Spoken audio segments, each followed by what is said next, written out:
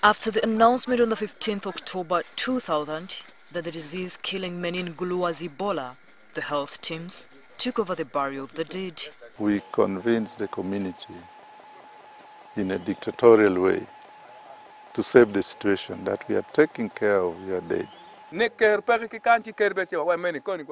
I felt bad, except that uh, even in the Bible it's written that the dust goes back to the dust. Progressive dictatorship indeed. And so the burials went on. To bury these people.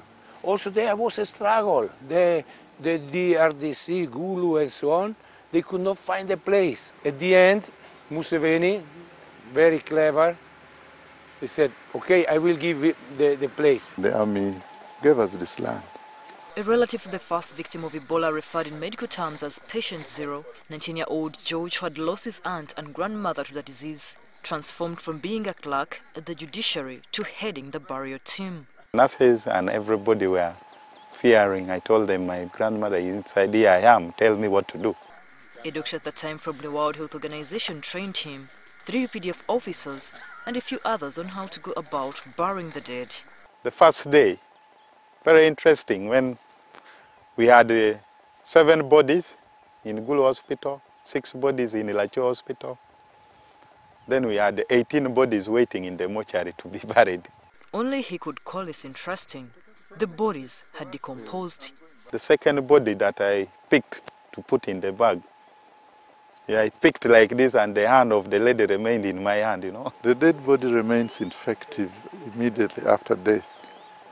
But for how long is uh, what I, I cannot answer right now. In fact, in the latest outbreak of the disease in West Africa, the World Health Organization put new infections as a result of contact with the dead at over 20%.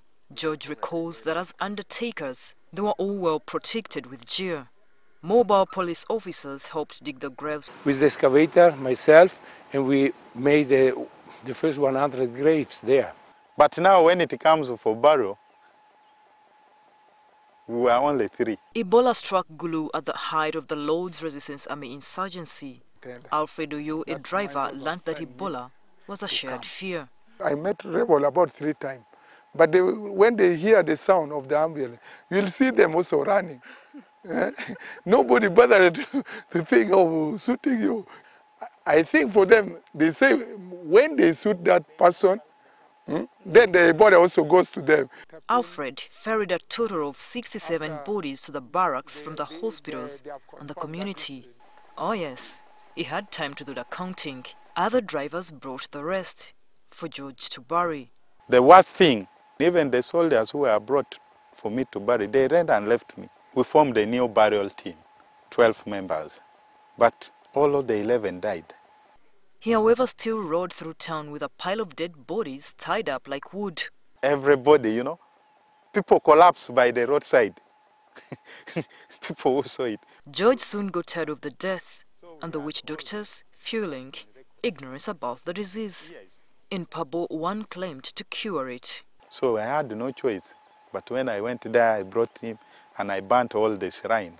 When he reached here, he was very positive. People about the eight people we brought were positive. He died with four of his patients. George's job took him to Masindi district, which he describes as worse than Gulu. The guy who was sent to pick me from Masindi just came and parked the car and took a board and ran and left me.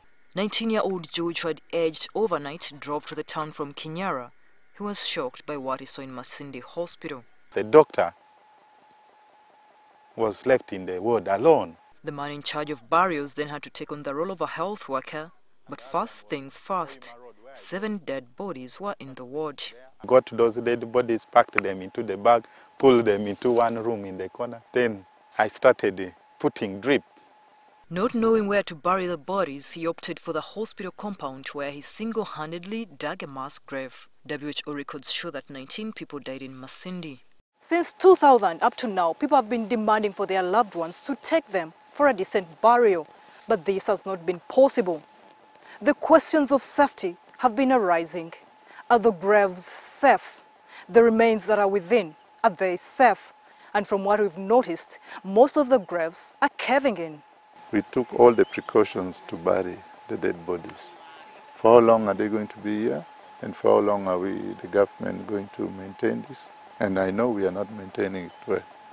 Is the virus still there? That is the question. Is it? The knowledge we have about the virus is that it would not survive when it is out of the cells. Now the cells are completely dead, they have been dead over a long period of time. Dr. Lutwama, the head of arbovirology at the Uganda Virus Research Institute, who played a big role in searching for samples during the 2000 outbreak, however, cautions against picking anything from the dead bodies. Having touched some of the graves, I quizzed Dr. Lutwama further on the slight probability of contracting the disease from the open graves. Nobody has gone to the dead after many years and picked tissue to go and test whether these tissues have got the virus there. If PCR probably is done, there are probably particles of the virus there, but it doesn't mean that the virus is live virus. He agrees that this could be an area of research to allay the fears of many. Florence Alimba, NTV in Gulu District.